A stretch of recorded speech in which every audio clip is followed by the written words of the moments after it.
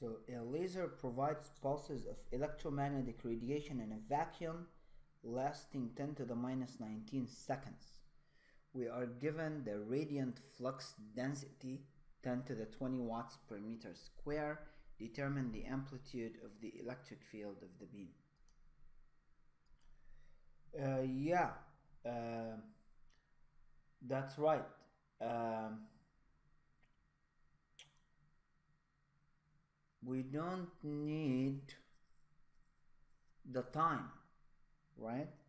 The uh, radiant flux density, watts over meter square, uh, that is already uh, the uh, irradiance.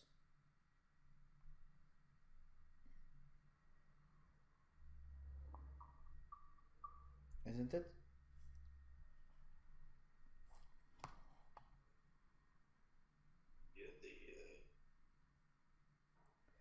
Uh, which is the average, which is the time average magnitude of the uh, Poynting vector,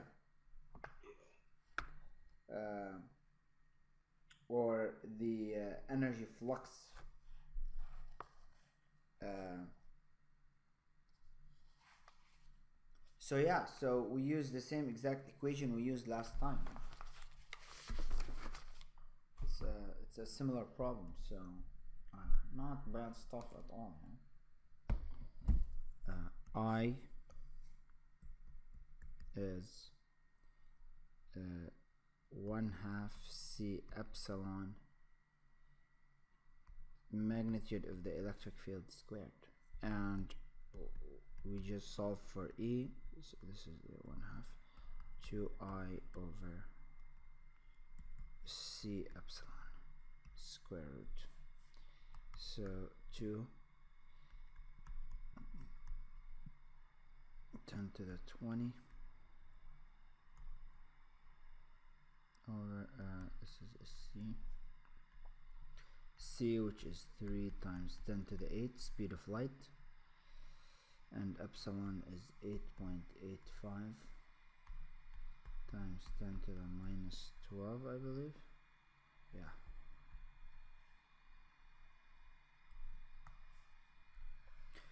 and so let's see what we get here if we calculate this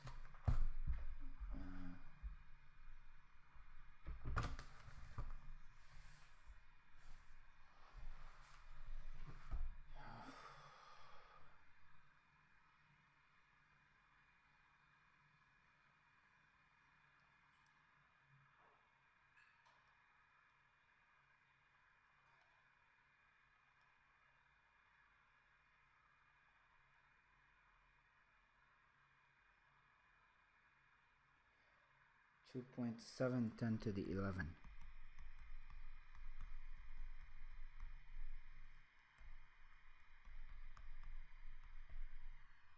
and this is again in volts per meters. So this is the magnitude of the electric field.